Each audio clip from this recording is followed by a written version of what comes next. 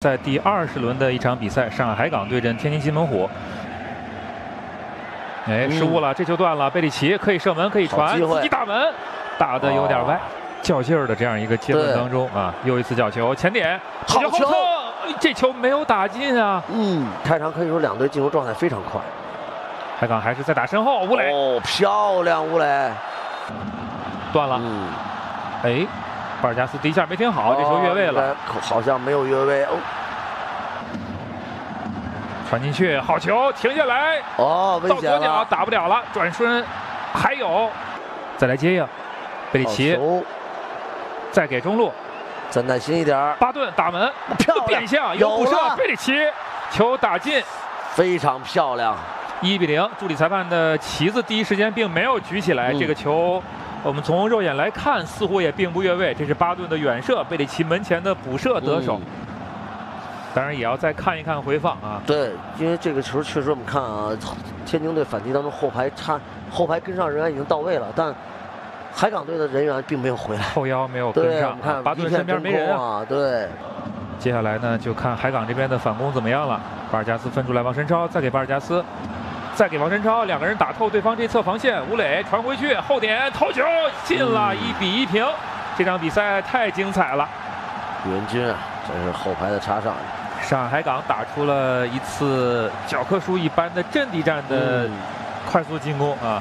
就所以我们说嘛，天津队这场比赛踢的一点都不保守。嗯。所以现在我们看，一比踢到十五分钟以后，这个场面来说，互相攻防啊，还是非常好看的。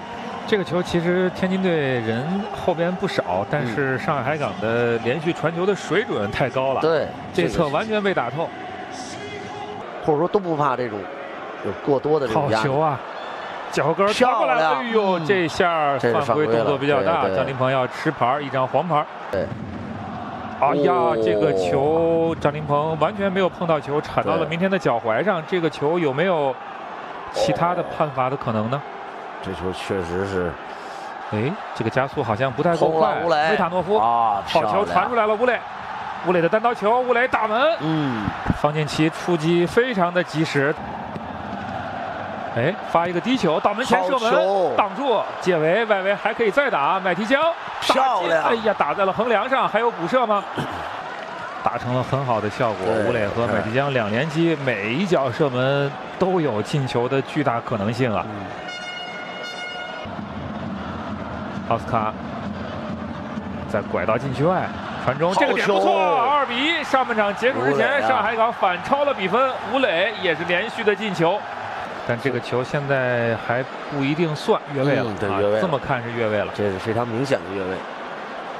那就比分还是一比一平。对，呃，两队这个上半场呢，目前还是不分高下的一个状况。看看他们的反击怎么样？找巴尔加斯，不错。冲起来，传门前，吴磊，吴磊捅一脚，这球捅偏了。这球吴磊要用左脚可能更好啊。前面还是找吴磊，吴磊又有机会了。呃，只有自己队友没跟上来，吴磊自己强行射门，嗯，质量也很高啊。角球开起来很快，奥斯卡这球连传带打，打到远端门柱，还是一个四三三。嗯，卡隆，卡隆最近状态也是相当不错的，入网。哇，这脚球其实没有打好，但是打的角度非常刁。贝里奇的接应，转过身来面对球门，但是没法射门，转一圈，这次可以打门了，打的太正了。嗯。但是防守球员很多，吴磊直线冲到禁区里，传中打在手上了，但这个球，但是钱宇淼的手啊，这个没有任何问题，还算是夹着。对，因为他手并没有去有意扩大范围，我们看已经收了。这球转的非常准，王晨超晃过来，左脚传门前，还有机会，好球，打门，脱手补射入网，哇，这球没顶进啊！这球我们看一下啊，这球入网应该是必进的球啊，这球应该是，呃，应该是方敬奇奋勇干扰了，对，这个但是这个我们看一下入网这个球。前一秒，这球比较危险，回传失误了。对，右边空了，卡隆。王自己来吗？推给卡隆，好球！卡隆的单刀球打进二比一，上海海港这次终于完成了反超。嗯。伊萨卡隆轻而易举的把球打进，这是天津津门虎自己在中场靠右的这个位置几次的慌乱当中形成的回传失误。